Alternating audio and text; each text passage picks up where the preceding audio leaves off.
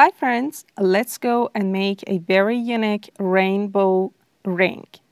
To make this wire ring, of course, we need a wire of 20 gauge and 26 gauge for the weaving parts, main tools, wire cutter, round nose pliers, and chain nose pliers.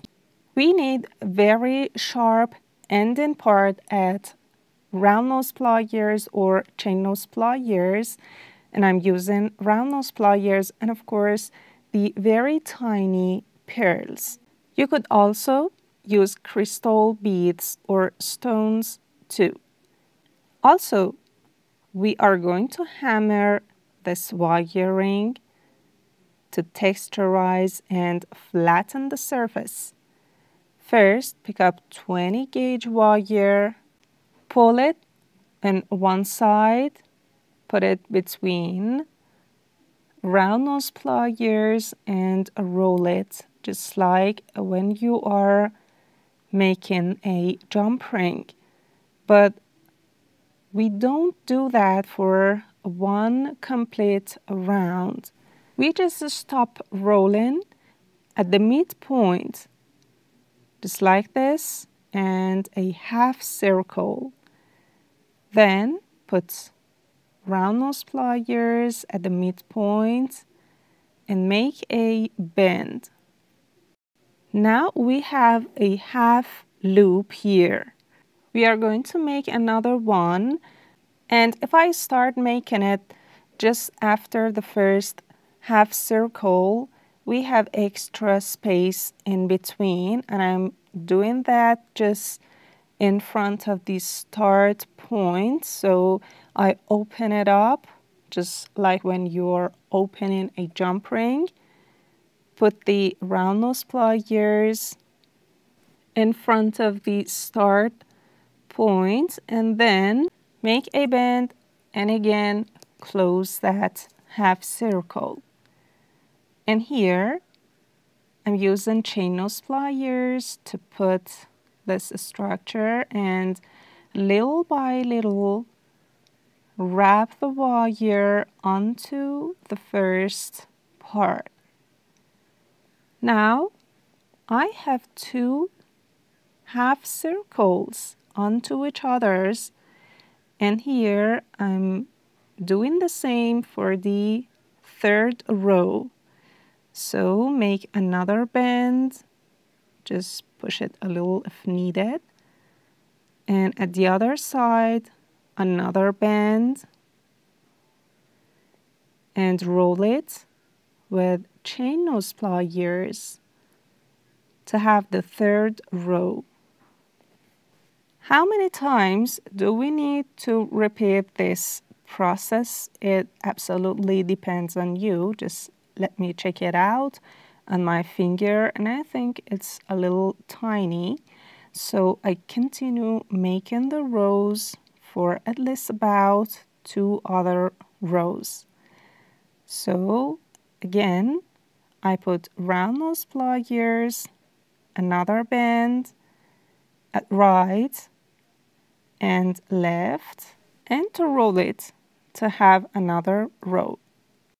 Let's check it out again, and I think it's perfect.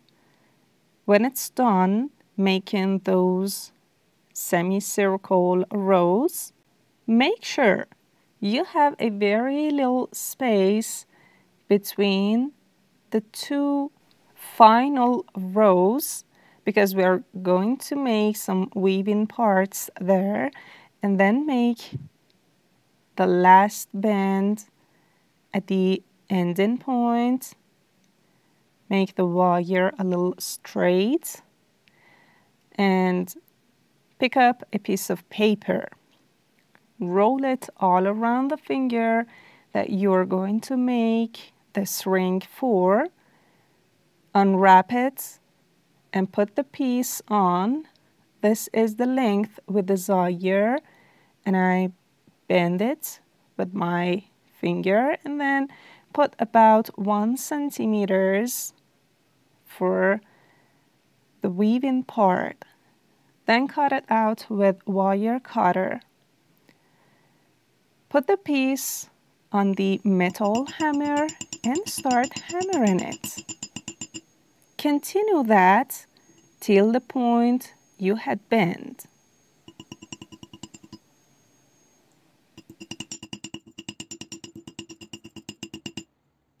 Now we've done hammering this piece and we flatten the surface and this is the time to wrap it all around a cylindrical shape like I'm doing this marker. Wrap the piece of paper the size of my ring all around it and it's okay. So I use it to bend the wire structure too.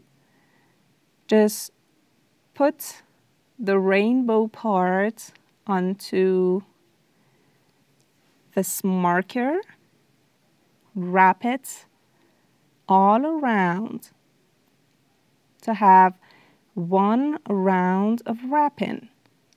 Here, I'm going to close the circle with round nose pliers and by bending the ending point and insert it in and make a very, very little loop here. But before squeezing this very little loop tight, insert it again into the ring mandrel or into the marker and here squeeze the loop with round nose pliers just like when you're fastening a tie just squeeze the space to be attached completely and make a joint here. Then cut the extra part out with wire cutter. And then again squeeze the ending point so that there wouldn't be any sharp edges left.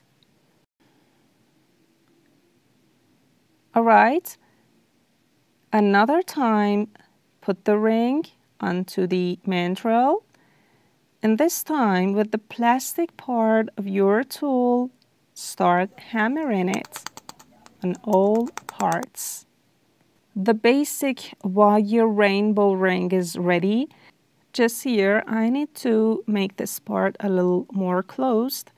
So I do the refinements with chain nose pliers and here I'm going to add this little pearls all around. Pick up the thinner wire of about 26 gauge, insert it in roll it and make at least three ties at one side and repeat that and squeeze them with chain nose pliers. Then cut the extra part with wire cutter and squeeze the ending point with chain nose pliers too. And here, cut the wire out in about 10 centimeters. I'm going to move it at the beginning part because I need the wire to be free so that I could insert the pearls in. So I insert the first one I push it to be placed here and then insert the thinner wire between the last two rows of rainbow and then fix it with my nail just like this and to repeat the same for the whole area.